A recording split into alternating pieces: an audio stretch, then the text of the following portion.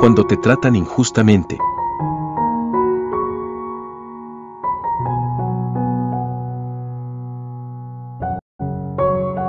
José fue un siervo fiel de Jehová.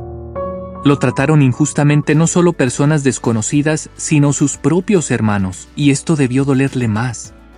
Cuando estos llegaron a Egipto y se reconciliaron con José, Faraón les dio la bienvenida y los invitó a establecerse en el país y disfrutar de lo mejor de esa tierra. Lo anterior nos deja la siguiente lección.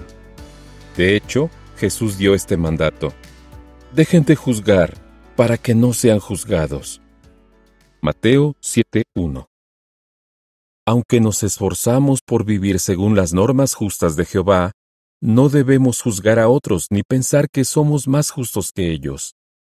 No miramos a los demás con aires de superioridad como si tuviéramos derecho a juzgarlos según nuestras propias normas. Más bien, tenemos presente que Jehová es el juez de toda la tierra.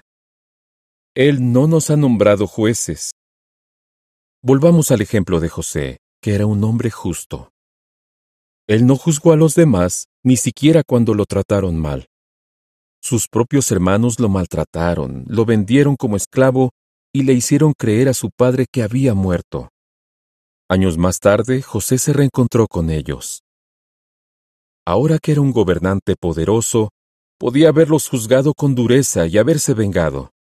Eso es justo lo que sus hermanos temían que hiciera aunque estaban muy arrepentidos por lo que habían hecho. Pero José les aseguró, No tengan miedo. ¿Acaso estoy yo en el lugar de Dios? Génesis 50, 15 a 21. José fue humilde y pensó que solo Jehová tenía el derecho de juzgar a sus hermanos. ¿Qué respondería? ¿Por qué no debemos juzgar a los demás según nuestras propias normas? ¿Cómo demostró José que confiaba en la justicia de Jehová?